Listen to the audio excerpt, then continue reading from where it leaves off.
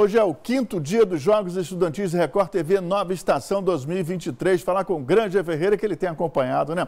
Todos os jogos ele está lá acompanhando. E olha, estamos fazendo bonito. Que evento, como era de se esperar, não é isso, Grande? Boa noite.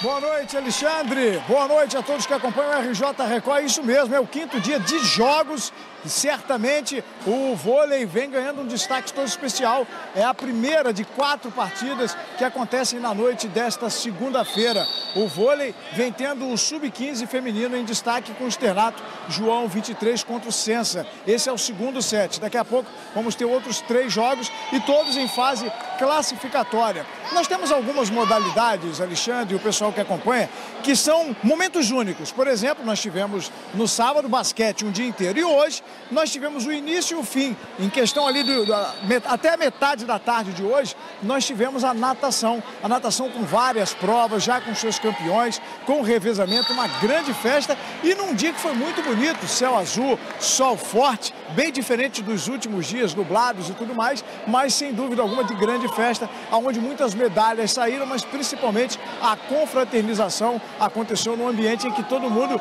queria estar sendo atleta para se refrescar nas piscinas. Já em relação aqui no ginásio, nós estamos tendo a movimentação do vôlei, é o que vai encerrar o dia. Mais cedo aqui no ginásio também tivemos o futsal, vivendo na categoria feminina, tanto sub-13 quanto sub-15, as fases de semifinais, ou seja, finalistas já foram conhecidos no início da tarde de hoje. E também nesse instante está tendo movimentação no futebol society, aonde o time do Eucarístico está enfrentando o Senza neste momento. Aqui é bastante acirrado, as meninas estão numa disputa classificatória e somando pontos para avançar. É a segunda-feira, começando com muito esporte desde as duas horas da tarde. Ou seja, tivemos natação, estamos tendo vôlei, também futebol society e o futsal já ocorreu. São jogos estudantis, porque nós, esses 10 anos, estamos aí formando uma única só equipe. É equipe esportiva e a equipe saudável, Alexandre.